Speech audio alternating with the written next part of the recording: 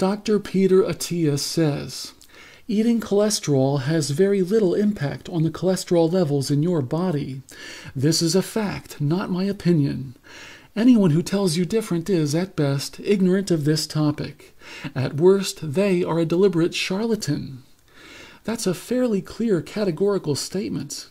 I'm not ignorant on this topic, and it just so happens that I say that dietary cholesterol can have a significant impact on your serum cholesterol levels. I guess that makes me a deliberate charlatan in his view. Now, I'll admit I may not be a very serious person like him, but a charlatan? I'll let you be the judge. That's not the only question I want you to ponder in this video. Dr. Attia also says that a dietary intervention should lower LDL particle count. You'll recall from the previous video that this is the biomarker that he thinks measures heart disease's progression best. You might therefore assume that he would only advocate for a diet that is reasonably believed to lower LDLP. He also thinks that someone who believes that saturated fats and fatty animal foods are bad for the heart would have a hard time justifying that belief. Therefore, he must believe that saturated fats and dietary cholesterol don't raise LDL particle number or ApoB. I think that at best, he is ignorant of this topic. The second question you should answer for yourself as you watch this video is Is Dr. Peter Attia sincerely trying to help you? I'll use the rest of this video showing you that dietary cholesterol does raise the blood cholesterol of healthy individuals, and I'll show you that the foods he defends are a disaster for ApoB. You can form your conclusions accordingly. Please remember this quote of his as we proceed.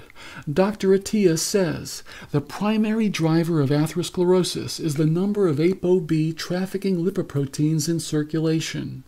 We're going to be seeing a lot more about ApoB in this video.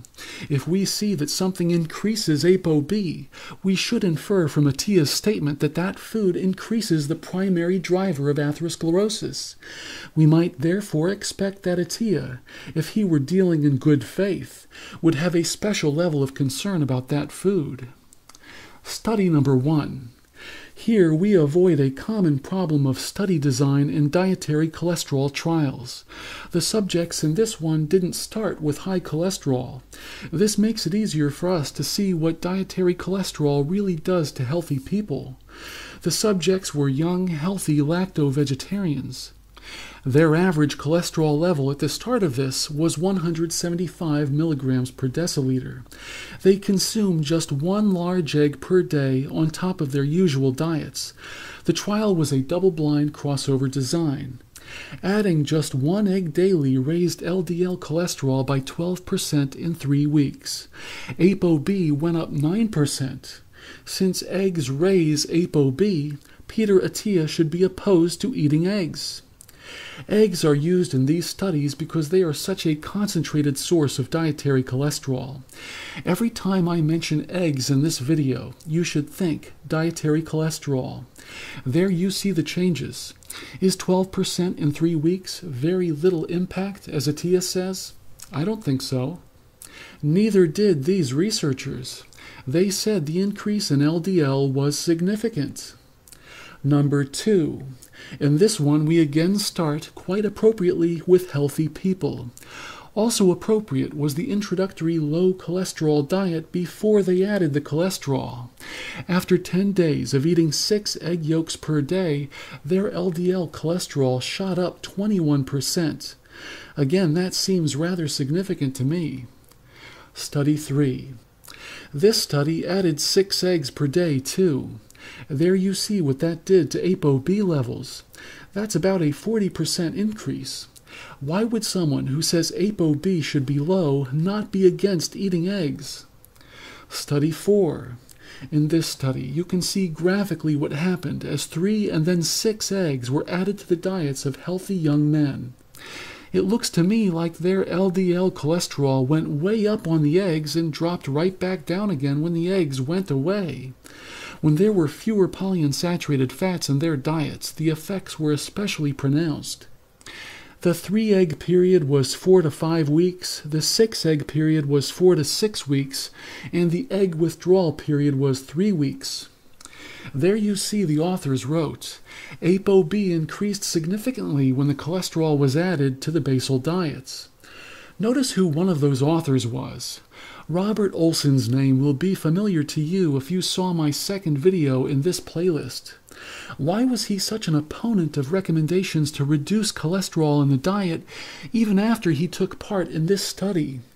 Watch that video again and you might be able to think of a reason why. Here's another study, study number five, showing what dietary cholesterol does to ApoB. This study used participants whose baseline LDL was 100 milligrams per deciliter. Remember, it appears that in order for plaques to stop worsening, LDL cholesterol needs to be around 75. The researchers here found that dietary cholesterol raised ApoB by 10% in 8 weeks. Study 6. You may wonder why I keep mentioning when a study used healthy young people. You can learn from this study why it matters. Participants were placed into three categories insulin sensitive, insulin resistant, or obese insulin resistant. They also started with different LDL cholesterol concentrations.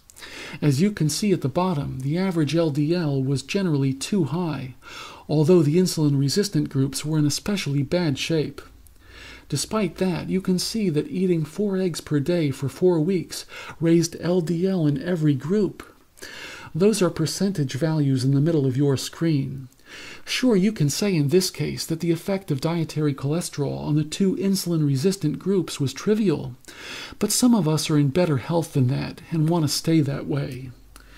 There you see that in the insulin sensitive participants, all that cholesterol caused a 9.5% increase in their ApoB. Dr. Attia says ApoB is the primary driver of atherosclerosis. We are now up to study number seven. In this one, nine women with good total cholesterol numbers consumed different combinations of fats and cholesterol for 15 days. The first diet used corn oil as its fat and contained 130 milligrams of cholesterol. This resulted in the lowest cholesterol numbers. Serum cholesterol went up from there in all the other diets they tested. One diet used corn oil again, but added 875 milligrams of cholesterol. Another diet used lard as the fat, with 130 milligrams of cholesterol. The last diet used lard plus 875 milligrams of cholesterol. The authors called each increase, whether from dietary cholesterol or lard or both, significant.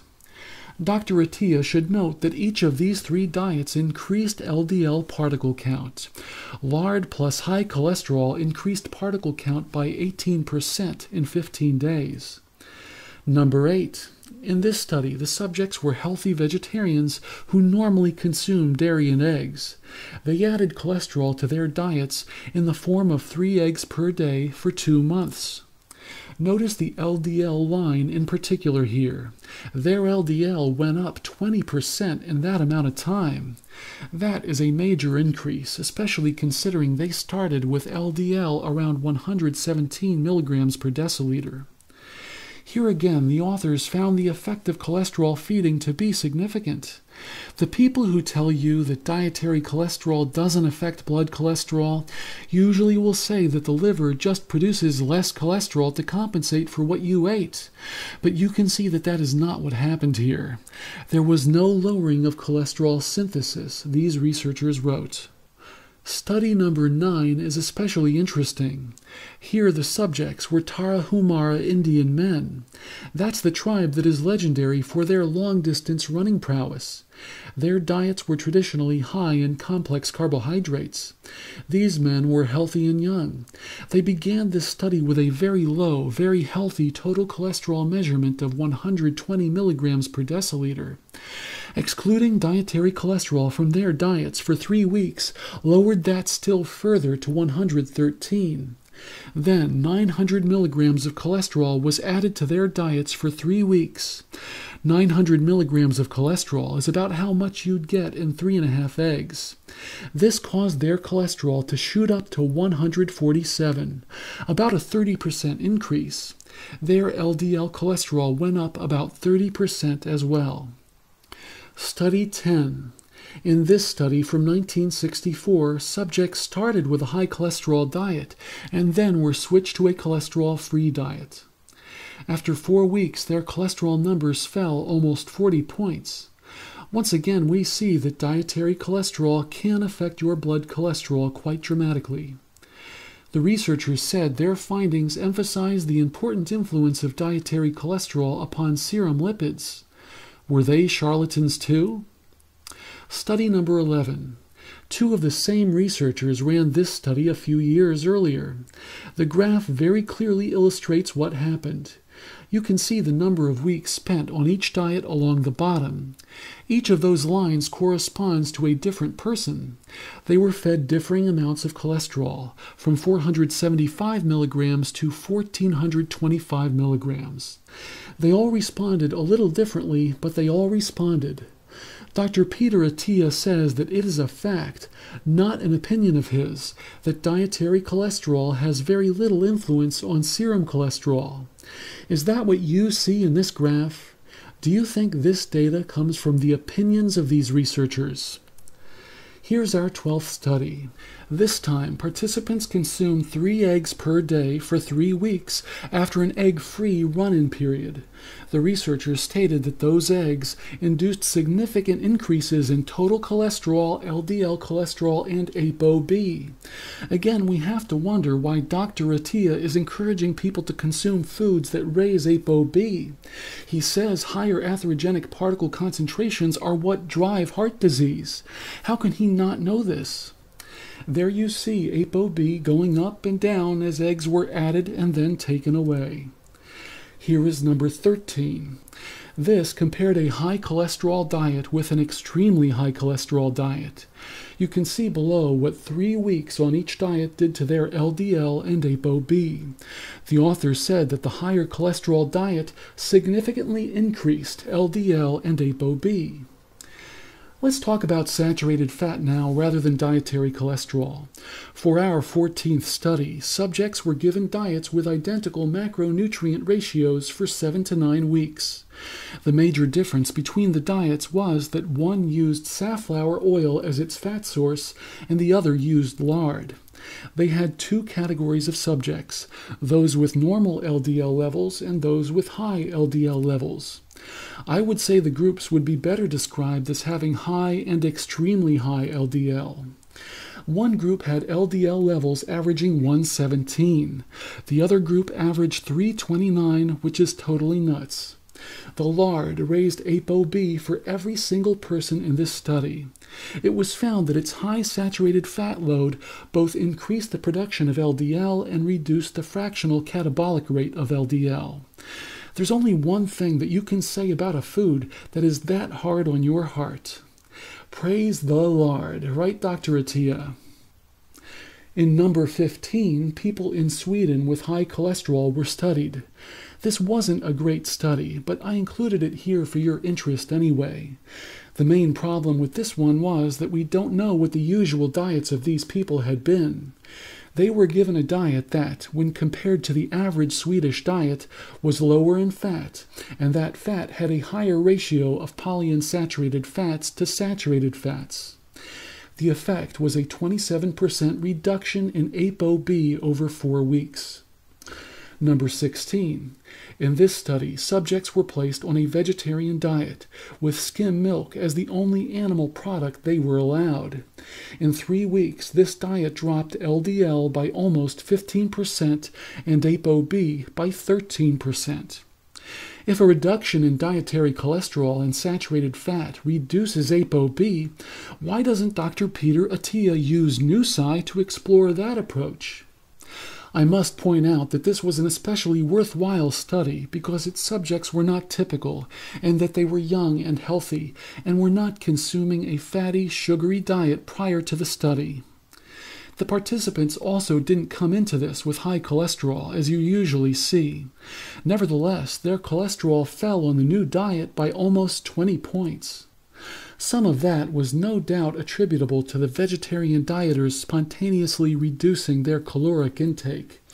Neither diet represented something Peter Attia or I would especially like, but you can see that carbs as a percentage of calories were higher and saturated fat intake was much lower while eating this diet than is the norm. And this resulted in a clear lowering of ApoB. As I said, the vegetarian diet provided a 13% advantage with respect to ApoB the dietary intervention wasn't ideal in part because they were trying to address a different question. Their concern was over the drop in HDL usually seen when people switch to low fat diets. That is not a worry we should have today about vegetarian diets. We know now that HDL levels needn't be the focus of concern among people eating low fat and plant based. Paper number 18 is a two for one deal. It reported on two experiments the authors conducted. This was an especially interesting article that helps to explain why we see these differing effects of fats. Each experiment lasted three weeks. The first study compared different levels of fat in the diet 45% versus 25%, with the fat quality being the same for both. Total calories were the same. The authors wrote On the low fat diet, all subjects had a lower pool size of LDL ApoB, the mean reduction being 30%. During the low fat diet, not only was less ApoB being produced in these people, more was being broken down. In the second experiment, they kept both diets relatively high in fat. This time, the effects of different fats were observed. The two fats they compared were butter fat and sunflower oil. Bear in mind that sunflower oil's omega 6 to omega 3 ratio is approximately 130. The conventional wisdom of the blogosphere would lead you to believe that such an oil should have seriously harmed these people. But what actually happened was lower triglycerides, lower LDL cholesterol, and lower ApoB.